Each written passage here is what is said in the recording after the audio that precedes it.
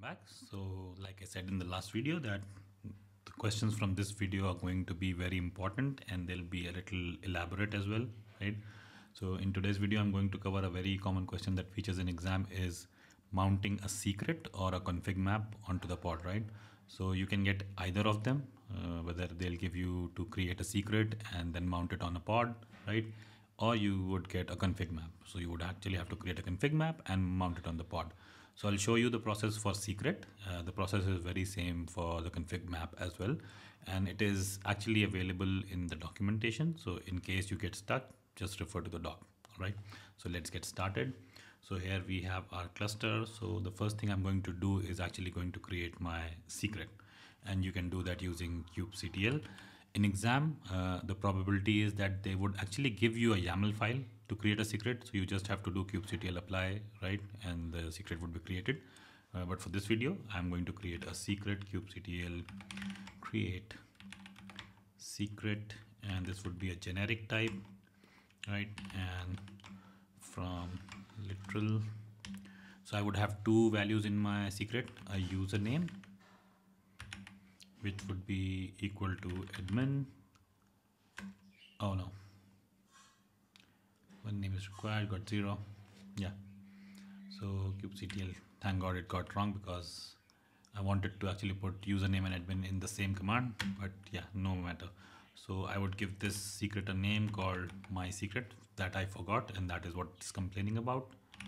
So I didn't give it a name so I just give it the name my secret and now from literal username so first value would be username and the second value not field manager from would be password and I would call it admin right? So username and password are both admin admin. And the name of the secret is my secret. Let's create it. Secret is created. Clear the screen. Now let's quickly create a YAML file for our pod. So kubectl run I'll call this pod as web image it will use as nginx and dry run YAML and we'll just redirect it to pod.yaml. Now let's look at pod.yaml and let's fix a few things. So things we don't need, I'll just get rid of those, right? And now what I'm going to do is I'm actually going to set the uh, secrets which I've just created into the environment variables, right? So let's quickly do that. So in order to set environment variable, env uh, name, so I would set this as username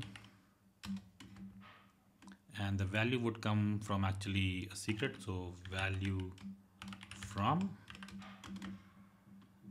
one, two, three, just remember three spaces uh, to keep your YAML formatted, right? So you don't uh, mess up your YAML. And secret key ref. And again, one, two, three. So name of the secret was my secret. And the key which I wanted to refer was username? Username. Similarly, I would have another value for name as password or let's do this app underscore password right again value from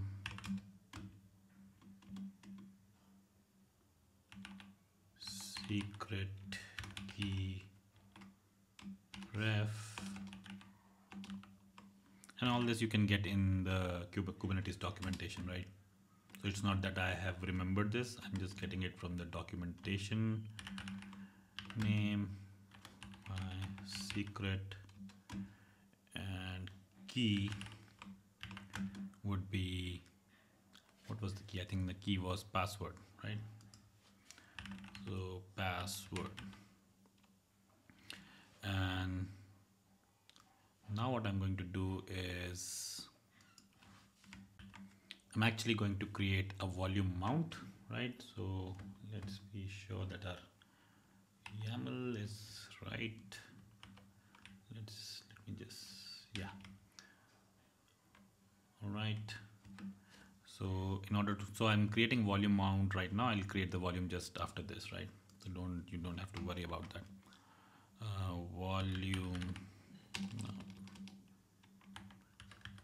volume mounts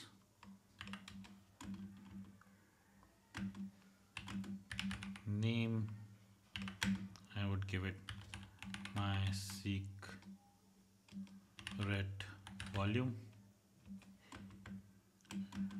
So mount path. Where do we so this would actually be given in the question uh, for the uh, video sake I'm just going to mount it on temp and I'll call it secret app secret. Uh, app secret yeah. This is fine. And we'll make this read only.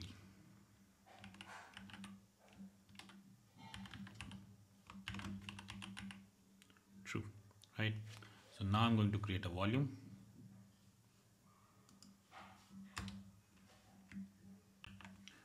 okay so let's just be sure okay so volumes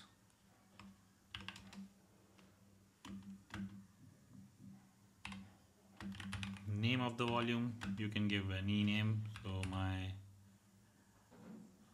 I'll just call it secret volume because I've already used my secret volume and this would be a secret.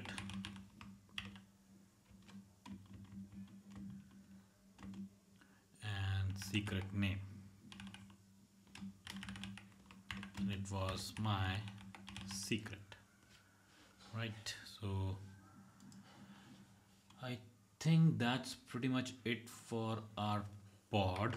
Let's see. I mean if we'll create we'll get to know if we have made any mistakes. So kubectl apply pod.yaml and yes. Volume mounts. So i think something i have done wrong with volume mounts. Okay. Let's see. Vi okay yes so you can see it's under environment which is not valid. Let's just bring it.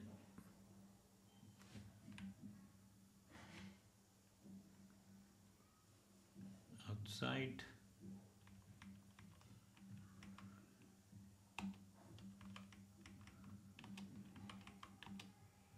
Right.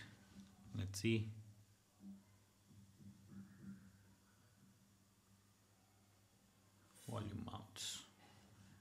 and I think let me just check the documentation. I think yeah, this is not required with volume mounts. And this should be good but let's make the formatting correct. So this is the only thing you have to worry about when you have a big YAML to work with right? The formatting. Because you won't have YAML lint available. So yeah. Now let's see not found my secret wall. Why?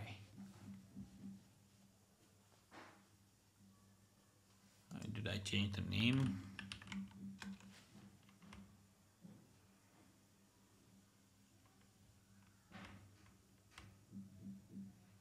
Oh yes, sorry. So this is actually the name of the volume. I thought it is the name of the volume mounts. My bad yeah so secret wall secret wall i hope you got that what was wrong. Because in under the wall because i forgot actually this my my bad my mistake. This name is actually the name of the volume which you're going to create right? Let's try once again. And our pod is created. Kubectl pods it's running. Okay so let's do cube ctl exec web and I want to exec env and I want to grep hyphen i for let's grep for username. So you can see username which we set in our secret is admin. Great. Let's search for password and we have app password also as admin. So our secret is actually created and well mounted in our pod. All right so that's pretty much it for this video. That's all i wanted to cover. Uh, next video i think i'll probably be doing uh, uh, etcd backup and restore. So that is going to be another important video. So please do check that out uh, for this video. That's pretty much it I hope you guys like this video. Please do subscribe to the channel before leaving. Please do comment if you want any improvement or if you want me to cover any specific topic in Kubernetes, right? I'll be happy to do that. Yeah, and please do subscribe to the channel before leaving and thank you for watching.